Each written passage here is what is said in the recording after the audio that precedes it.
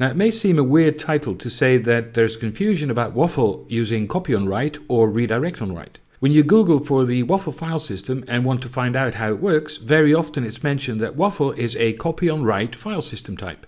Not just by anybody, but definitely also in NetApp documents it reads that it is copy on write, especially with regards to snapshots. By the way, this also goes for ZFS, a lookalike of WAFL. To be honest, and I'm always very careful, I must say that I have my doubts about this statement, or at least I'm confused, and I'll tell you why. Let's do a quick recap on the concepts of the two different methods. Let's first look at copy on write, which is a technique which is very popular in programming to manage shared data. So multiple programs simply use the same dataset until one program starts to modify it.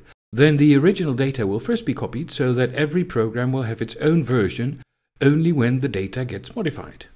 Uh, it can best be explained, uh, I think, by this conceptual example. Now, the subject is the program or the database or whatever other entity that wants to change the data.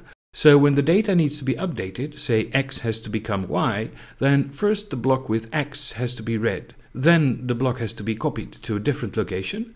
This is the first write. And finally, a new value, y in this case, will have to be written to the original location. That's the second write. So the general idea is that the data is first copied away before it is overwritten. So copy on write. In a redirect on write situation, the updated value will always be written to a new location and the original data remains untouched. Now, what if we translate this to WAFL?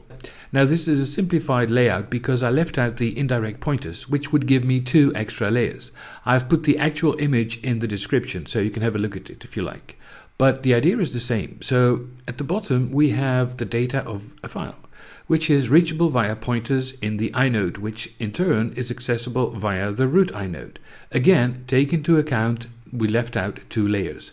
So we see two files and each file has two blocks of data. So imagine we want to change D into E, uh, then in WAFL, the block D is not modified or touched in any way. The only thing that happens is that E will be written to a new location on disk. And since the E is the replacement for D, the pointer in the inode should be modified. However, WAFL never updates a block, but always writes new blocks. So there will be a new inode with pointers to C and E. The same goes for the layer above, and so on. And finally, when we get to the root inode, this is the only block in the entire file system that will actually be overwritten. The reason why this is a very nice technique is that right before the overwrite of the root inode, if the system would crash, then the old path to the data is still valid. So if the system is back up, the procedure can repeat itself. And when the root inode is finally overwritten, then the uh, blocks that are no longer in use uh, can simply be freed.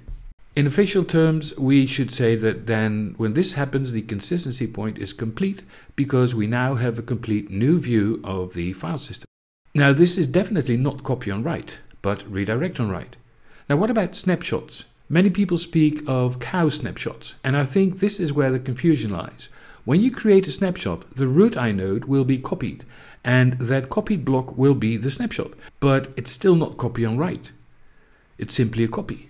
Now what's more, the new snapshot is part of the file system. If you would create a second snapshot and restore the first, then you would lose the second snapshot because it wasn't there when you created the first one. So you could safely say that every snapshot that is created is part of the volume file system structure. So the snapshot and the active file system share the same blocks. The snapshot is a read-only copy of the root inode, so you will never be able to go in and change anything inside the snapshot. In the active file system, however, you could change D into E, but that would simply create a new block, just like we discussed. The only difference is that the snapshotted block cannot be freed, because it's part of a snapshot. And at this time, the snapshotted block starts taking file system space. Initially they don't, but anyway, I haven't seen any copy on write yet. Uh, so to my mind, I would say that WAFL is a redirect on write file system. And I'm sure some of you will disagree with the above, and I hope you let me know in the comments. And if you have time, you can have a look at some links in the description, one of which is a NetApp document that says WAFL is copy on write. So please form your own opinion.